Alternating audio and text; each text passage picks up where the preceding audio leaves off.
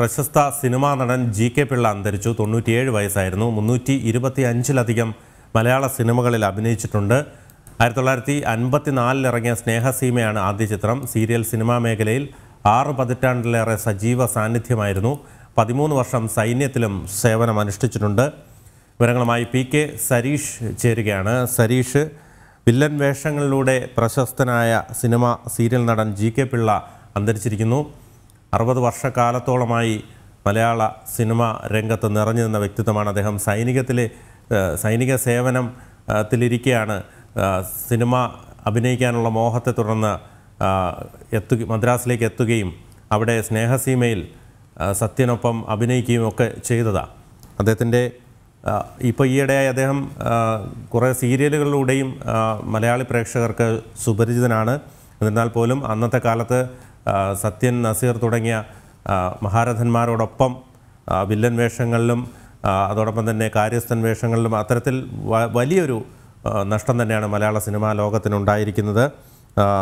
അദ്ദേഹം നായർ പിടിച്ച പുലിവാൽ ജ്ഞാനസുന്ദരി സ്ഥാനാർത്ഥി സാറാമ തുമ്പോലാർച്ച ലൈറ്റ് ഹൗസ് കാര്യസ്ഥൻ അങ്ങനെ തുടങ്ങി മുന്നൂറ്റി ഇരുപത്തി അഞ്ചിലധികം മലയാള സിനിമകൾ അഭിനയിച്ചിട്ടുണ്ട്. അദ്ദേഹത്തെ എന്തൊക്കെയാണ് കൂടുതൽ വിവരങ്ങൾ? ബിനു ആയിരത്തി തൊള്ളായിരത്തി ഇരുപത്തിനാലിൽ ആണ് അദ്ദേഹം ജനിച്ചത്. തുടർന്ന് പ്രാഥമിക വിദ്യാഭ്യാസം പൂർത്തിയാക്കിയ ശേഷം സൈനിക ഉദ്യോഗസ്ഥനായി മാറുകയായിരുന്നു. പക്ഷെ അപ്പോഴും ഈ കരസേനയിൽ ജോലി ചെയ്യുമ്പോഴും ഈ നാടകത്തോടും സിനിമയോടും ഒക്കെ അപ്പോഴും ഒരു ആഗ്രഹം ഉണ്ടായിരുന്നു. ഈ നാടക സമിതികളുമായൊക്കെ അദ്ദേഹം സജീവമായി ബന്ധം പുലർത്തിയിരുന്നു. ഇടക്കാലങ്ങളിൽ അതായത് അവിടെ സൈനിക ജീവിതത്തിനോട് അല്ലെങ്കിൽ ഇടവേള കിട്ടുമ്പോൾ നാട്ടിലേക്ക് തിരിച്ചെത്തുമ്പോഴൊക്കെ പ്രാദേശികമായി നാടകങ്ങളിലൊക്കെ സജീവമായിരുന്നു. പിന്നീട് ഈ സൈനിക ജീവിതം അവസാനിപ്പിച്ച് നാട്ടിൽ തിരിച്ചു വന്ന ശേഷമാണ് പൂർണമായി ഈ നാടകത്തോട് അനുബന്ധിച്ച് പ്രവർത്തിക്കാൻ തുടങ്ങിയത്. പിന്നീട് ആയിരത്തി തൊള്ളായിരത്തി അൻപത്തി നാലിലാണ് ആദ്യമായി സിനിമയിലേക്ക് എത്തുന്നത്. ആയിരത്തി തൊള്ളായിരത്തി അൻപത്തി നാലിൽ പുറത്തിറങ്ങിയ സ്നേഹസീമ എന്ന ചിത്രത്തിലാണ് അദ്ദേഹം ആദ്യമായി അഭിനയിച്ചത്. പിന്നീട് രണ്ട് വർഷം അദ്ദേഹത്തിന് വീണ്ടും കാത്തിരിക്കേണ്ടി വന്നു. തൊട്ടടുത്ത ചലച്ചിത്രം ലഭിക്കാനായി മന്ത്രവാദി എന്ന ചിത്രത്തിൽ ആയിരത്തി തൊള്ളായിരത്തി അൻപത്തി ആറിൽ പുറത്തിറങ്ങിയ മന്ത്രവാദി എന്ന സിനിമയിലാണ് പിന്നീട് അദ്ദേഹം എത്തുന്നത്. തുടർന്നുള്ള നാളുകൾ ഒരുപക്ഷെ ഇദ്ദേഹത്തിന്റെ അല്ലെങ്കിൽ ജി കെ പിള്ളയുടേതായിരുന്നു എന്ന് വേണം പറയാൻ. കാരണം പിന്നീട് അദ്ദേഹത്തിന് ആയിരത്തി തൊള്ളായിരത്തി എഴുപതുകളിലും എൺപതുകളിലും അദ്ദേഹത്തിന്റെതായി മാറി എന്ന് വേണം മനസ്സിലാക്കാൻ. ആദ്യഘട്ടങ്ങളിലൊക്കെ ഏറ്റവും ക്രൂരനായ ഒരു വില്ലൻ അല്ലെങ്കിൽ ഒരു തറവാട്ട് കാരണവർ എന്ന രീതിയിലൊക്കെ ആയിരുന്നു ഉണ്ടായിരുന്നത്. പിന്നീട് ഈ കൃത്യമായി ഈ ചരിത്ര കഥ കഥകൾ പറയുന്ന സിനിമകൾ പുറത്തിറങ്ങിയതോടെ ആ കഥകളിലൊക്കെ ഒരു വില്ലനായ രാജാവ് വില്ലനായ മന്ത്രി എപ്പോഴും ആ ആ ഒരു കഥാപാത്രങ്ങളിലൂടെ ആയിരുന്നു ജി കെ പിള്ള ഉണ്ടായിരുന്നത്. എൺപതുകളിലാണ് വീണ്ടും അദ്ദേഹം ഒരു തിരിച്ചുവരവ് നടത്തുന്നത്. എൺപതുകളിലും ആണ് അദ്ദേഹം ഒരു തിരിച്ചുവരവ് നടത്തുന്നത്. പ്രധാന വില്ലൻ കഥാപാത്രങ്ങളിലൊക്കെ ഒരുപക്ഷെ നേരത്തെ ബിനു സൂചിപ്പിച്ചതുപോലെ സത്യനും നസീറിനും ജയനും ഒക്കെ ഒപ്പം പ്രധാന ഒരുപക്ഷെ നായകനോടൊപ്പം തന്നെ ചേർന്ന് നിർത്താവുന്ന ഒരു വില്ലൻ എന്ന രീതിയിൽ അദ്ദേഹം മാറുകയായിരുന്നു. മറ്റ് കഥാപാത്രങ്ങളിലൊക്കെ നിർജീവമാക്കിക്കൊണ്ട് നായകനോടൊപ്പം ഒരു പക്ഷേ എഴുപതുകളിലും എൺപതുകളിലും ഒക്കെ എത്തിയ സിനിമകളിൽ നമ്മൾ കണ്ടത് എപ്പോഴും നായകന് പ്രാധാന്യം നൽകുന്ന സിനിമകളായിരുന്നു. പക്ഷേ ആ നായകന് തുല്യമായ ഒരു വില്ലൻ എന്ന രീതിയിൽ തന്നെ ജി കെ പിള്ള അവതരിപ്പിച്ച കഥാപാത്രങ്ങൾ എടുത്തു പറയേണ്ടതാണ്.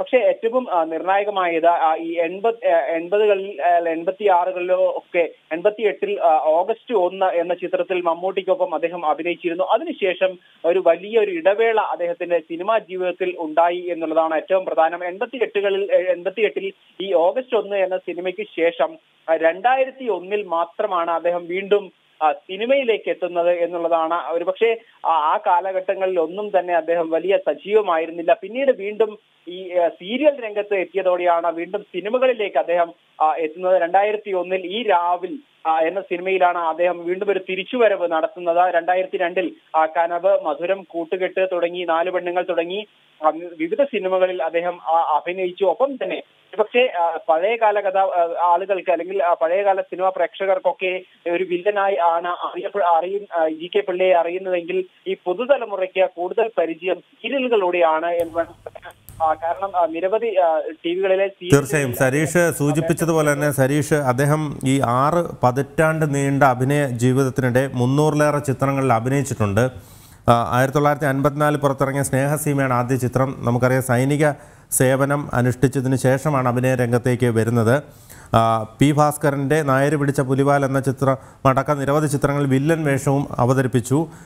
സരീഷ് സൂചിപ്പിച്ചതുപോലെ തന്നെ അദ്ദേഹത്തിന് പിന്നീട് സിനിമാ ലോകത്ത് നിന്നും ഒരു കൃത്യമായ ഒരു പരിഗണന ലഭിച്ചില്ല എന്ന് അദ്ദേഹം പല അഭിമുഖങ്ങളിലും പറഞ്ഞിരുന്നു. അതിനെ തുടർന്നാണ് അദ്ദേഹം സീരിയലിലേക്ക് എത്തുന്നത്. രണ്ടായിരത്തി പതിനൊന്നിലാണ് അദ്ദേഹത്തിന് പ്രേം നസീർ അവാർഡ് ലഭിക്കുന്നത്. അത് മാത്രമല്ല മറ്റ് വലിയ പുരസ്കാരങ്ങളൊന്നും അദ്ദേഹത്തിന് ലഭിച്ചിരുന്നില്ല. അദ്ദേഹം ഈ സൈനിക സേവനത്തിന് ശേഷം അഭിനയ രംഗത്തേക്ക് വന്നെങ്കിലും വേണ്ടത്ര പരിഗണന സിനിമാ ലോകം നൽകിയില്ല എന്നതടക്കമുള്ള കാര്യങ്ങൾ അദ്ദേഹം പല അഭിമുഖങ്ങളിലും സൂചിപ്പിച്ചിട്ടുണ്ട്. എന്നിരുന്നാൽ പോലും അദ്ദേഹം പിന്നീട് ഈ തൊണ്ണൂറാം വയസ്സിലൊക്കെ തന്നെ സീരിയലിൽ സജീവമായി രംഗത്തുണ്ടായിരുന്നു. കുടുംബ പ്രേക്ഷകർക്കൊക്കെ പ്രിയങ്കരനായിരുന്നു അദ്ദേഹം സീരിയലിലൂടെ വന്നത്. അതിനുശേഷവും പിന്നെ അദ്ദേഹത്തിന് നിരവധി വേഷങ്ങൾ സിനിമയിൽ ലഭിക്കുകയുണ്ടായി എന്നാണ് മനസ്സിലാക്കാൻ കഴിയുന്നത്. അത് മാത്രമല്ല ഞാൻ ഈ സൂചിപ്പിച്ചതുപോലെ തന്നെ അദ്ദേഹത്തിന് സിനിമാ ലോകത്ത് നിന്ന് വേണ്ടത്ര പുരസ്കാരങ്ങൾ ലഭിക്കാത്തതിന്റെ ആ ഒരു ദുഃഖം അദ്ദേഹം പലപ്പോഴും പറഞ്ഞിരുന്നു. എന്നിരുന്നാൽ കൂടിയും ഈ നമുക്കറിയാം മധുവിനെ പോലെ അല്ലെങ്കിൽ അതിനു മുൻപേ സിനിമയിൽ വന്ന ഒരാളാണ് അത്രയധികം തൊണ്ണൂറ്റിയേഴ് വയസ്സുണ്ട്. അൻപത്തിനാലിലാണ് ആദ്യ ചിത്രം വരുന്നത്. ഏകദേശം അറുപത് വർഷക്കാലം മലയാളികളുടെ ഹൃദയത്തിൽ നിറഞ്ഞു നിന്ന ഒരു വ്യക്തിത്വം തന്നെയാണ്. അദ്ദേഹത്തിന്റെ വിയോഗം സിനിമാ ലോകത്തിന് തന്നെ ഒരു തീരാ നഷ്ടമെന്ന് തന്നെ പറയേണ്ടി വരും സരീഷ് അറുപത് വർഷം മലയാള സിനിമയ്ക്ക് വേണ്ടി ജീവിതം മാറ്റിവെച്ച ഒരു വ്യക്തിത്വം എന്നാണ് ആ ജി കെ പിള്ളയെ നമുക്ക് വിശേഷിപ്പിക്കാനാവുന്നത്. ഒപ്പം തന്നെ നേരത്തെ ഞാൻ സൂചിപ്പിച്ചതുപോലെ വില്ലൻ വേഷം പോലീസ് കഥാപാത്രങ്ങൾ ക്രൂരരായ രാജാവ് മന്ത്രി ഒരുപക്ഷെ കുതന്ത്രങ്ങൾ മെനയുന്ന മന്ത്രി തുടങ്ങിയവയ്ക്ക് അദ്ദേഹം അഭിനയിക്കുന്നതോടെ ആ കഥാപാത്രങ്ങൾക്ക് ഒരു മേൽക്കൈ സൂചിപ്പിച്ചതുപോലെ നായകനേക്കാൾ മുകളിൽ നിൽക്കുന്ന ഒരു വില്ലൻ എന്ന രീതിയിൽ ജി കെ പിള്ളെ പലപ്പോഴും അറിയപ്പെട്ടിരുന്നു. പലപ്പോഴും ഈ നായകൻ നായകന്മാർ പല അഭിമുഖങ്ങളിലും ഒരുപക്ഷെ മുൻകാല നായകന്മാർ പ്രേം നസീറും ഇപ്പം സത്യനും ഉൾപ്പെടെയുള്ളവർ പറഞ്ഞിരുന്നത് തനിക്കൊപ്പം നിൽക്കുന്ന വില്ലൻ എത്രത്തോളം മികച്ചതായി അഭിനയിക്കുന്നുവോ അത്രത്തോളം തന്റെ അഭിനയവും ആളുകൾ സ്വീകരിക്കും എന്നൊരു ഇന്റർ അഭിമുഖങ്ങളിലൊക്കെ ഈ നായകന്മാർ പറഞ്ഞിരുന്നു. അതുതന്നെയാണ് ജി കെ പിള്ള എന്ന് പറയുന്ന ചലച്ചിത്ര താരത്തിന് ലഭിക്കുന്ന ഒരു പുരസ്കാരം എന്ന് പറയുന്നത്. പക്ഷേ സംസ്ഥാന സർക്കാരുകളോ അല്ലെങ്കിൽ മറ്റ് സംഘടനകളോ ഒന്നും തന്നെ കൃത്യമായൊരു പുരസ്കാരം നൽകാൻ ആദരിക്കാൻ തയ്യാറായിരുന്നില്ല എന്നുള്ളതാണ് ഏറ്റവും പ്രധാനപ്പെട്ട പ്രധാനമായി നമ്മൾ തീർച്ചയായും വ്യക്തമാണ്. പ്രശസ്ത സിനിമാ നടൻ ജി കെ പിള്ള അന്തരിച്ചു. കൂടപ്പിറപ്പ് മന്ത്രവാദി പട്ടാഭിഷേകം സ്ഥാനാർത്ഥി സാറാമ നായര് പിടിച്ച പുലിവാൽ ഉമ്മിണിത്തങ്ക എഴുതാത്ത കഥ ആരോമലുണ്ണി തച്ചോളി അമ്പു കൊച്ചിൻ എക്സ്പ്രസ് വല്യേട്ടൻ കാര്യസ്ഥൻ തുടങ്ങി മുന്നൂറ്റി ഇരുപത്തി അഞ്ചിലധികം മലയാള സിനിമകളിൽ അദ്ദേഹം അഭിനയിച്ചിട്ടുണ്ട്. ആയിരത്തി തൊള്ളായിരത്തി അൻപത്തിനാലിൽ ഇറങ്ങിയ സ്നേഹസീമയാണ് ആദ്യ ചിത്രം. സീരിയൽ സിനിമാ മേഖലയിൽ ആറ് പതിറ്റാണ്ടിലേറെ സജീവ സാന്നിധ്യമായിരുന്നു അദ്ദേഹം. പതിമൂന്ന് വർഷം സൈന്യത്തിൽ സേവനം അനുഷ്ഠിച്ചതിന് ശേഷമാണ് സിനിമയോടുള്ള ഒരു ഭ്രമത്തെ തുടർന്ന് അദ്ദേഹം സിനിമയിലേക്ക് എത്തിപ്പെടുന്നത്. അദ്ദേഹം മരിച്ചു എന്നുള്ള വാർത്തയാണ് അതിന്റെ വിശദാംശങ്ങളാണ് പി കെ സരീഷ് നൽകിക്കൊണ്ടിരുന്നത്.